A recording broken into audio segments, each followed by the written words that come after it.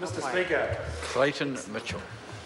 Today, Mr Speaker, uh, I have removed my yellow ribbon, which I've been wearing for a week, um, and put on a blue ribbon, partially because it's a bit of a sad day, I think, for New Zealand, um, with this bill going to be passed in the House with the, in the House with the numbers of support that, uh, that the government have to put this through and also partly to acknowledge um, the importance to be aware of prostate cancer. And we're wearing them a little bit early to think about thinking ahead.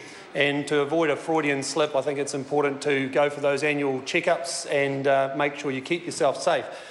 Mr Speaker, it is a very sad day. Um, the Transport and Industrial Relations Select Committee, I think, I've, I've really enjoyed uh, the last 11 months working with a number of the colleagues. It was great that Judith Collins uh, removed herself and went to another select committee, and I thought that we got more work done and it was far more productive. But, uh, Mr Speaker, I, I, think we have left that chamber uh, in those discussions many times a little bit bewildered and confused, and certainly I have.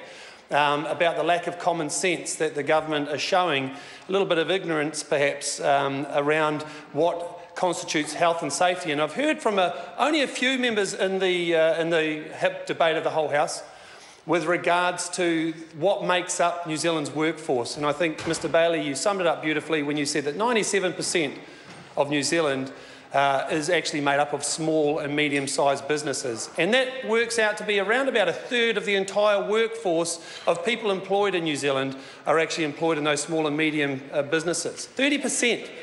And the reality is 30% of people under this new legislation will not have any new safety conditions put imposed on them. And there will be no ground up, no culture change within those businesses to actually help those businesses uh, look after their workers and in actual fact, if we looked at the existing bill that sits at the moment, had we gone back and had the foresight to adjust and change that legislation, Mr Speaker, we would actually um, see that it needed some serious tidying and titivating, and the reality is we would get better engagement from workers, and we obviously need some better funding to ensure that we had those health and safety inspectors.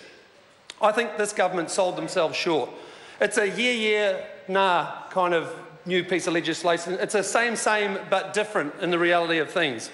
Mr. Lees Galloway, I, have to say, you know, there was a very, very powerful speech, and I absolutely support um, where the Labor Party have been. Although I have to give you a bit of a smack and say, you know, you, the reality is you're talking about harm minimisation in the or, workplace. Order, order.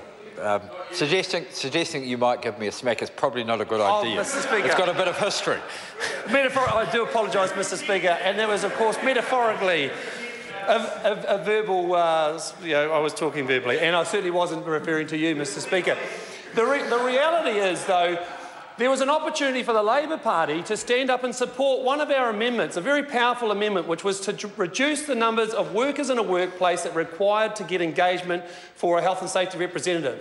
And there was an opportunity to reduce that from 20 workers down to 10 workers, which would have actually had a massive impact on those small and medium-sized businesses and would have actually got the engagement down to only about 10% of the working population that wouldn't have been eligible to have a health and safety representative. And yet there was no noise. There was no noise from this side of the House or from the Greens to support that um, balanced out situation.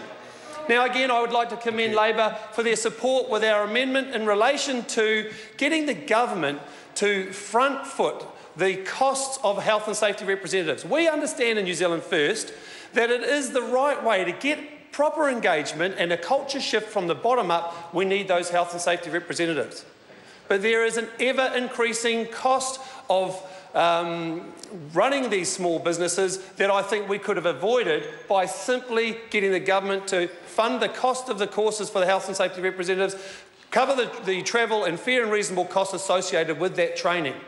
Now, in actual fact, that was a, a minor cost, uh, but front-footing it, it would actually make a huge difference. And the intention of this bill is to reduce the amount of fatalities and work-related fatalities and harm in workplaces, Mr Speaker, by 25% over the next five years. But why not 40%? Why not 60%? Why not 100%?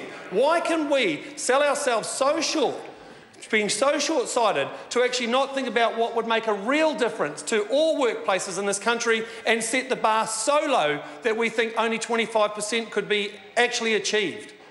And at the same time, we could achieve those much lower fatalities in our workplace, Mr. Speaker. It doesn't have to be at the expense and the cost of small and medium sized businesses who will be feeling the extra cost of compliance and the squeeze on those small and medium sized businesses. And let me run you through another one of our supplementary orders 110, supplementary order paper 110. And section 28, which was to uh, remedy the uh, issue around personal protective equipment. Currently, the legislation is, and it will be with this new legislation, that no worker could be imposed a levy on for their personal protective equipment. We again, we absolutely commend that. They shouldn't have to cover the cost of their personal protective equipment. But again, we say, what about personal responsibility? What about putting an amendment in to ensure that those workers look after that equipment?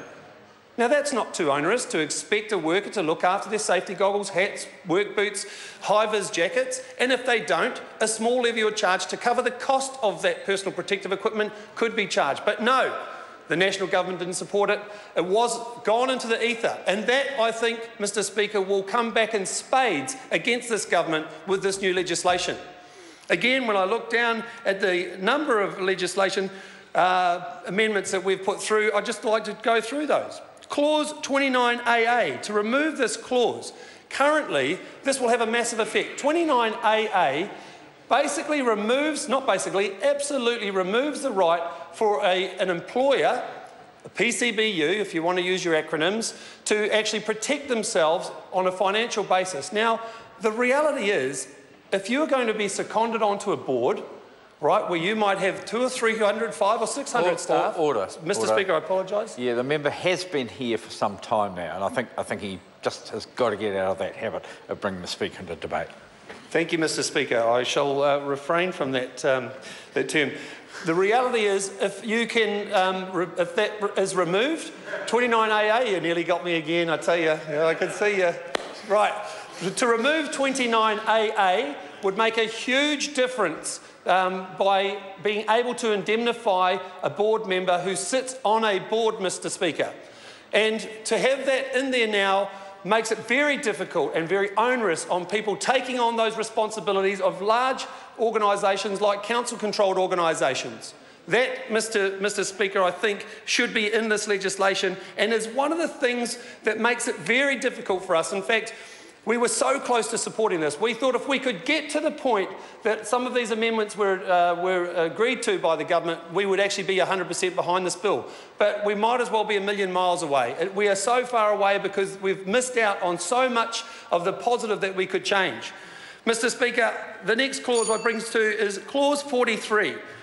Now, this is going to largely affect all of those spouses, husbands, and wives partners in a farming situation. The situation where a husband is out on the farm and has an accidental death um, and, and uh, he loses his life. It might be because of a quad bike or it might be because of a tractor. We don't want to go into the details. Mr Speaker, under this new legislation, as a PCBU and a worker, the wife will be legally culpable and could be up to some very hefty fines and ultimately could leave the, the spouse left without a farm as well as left without a husband. This, Mr. Speaker, is some of the unintended or one of the very important unintended consequences of this Act that we have tried to remove by putting in Clause 43.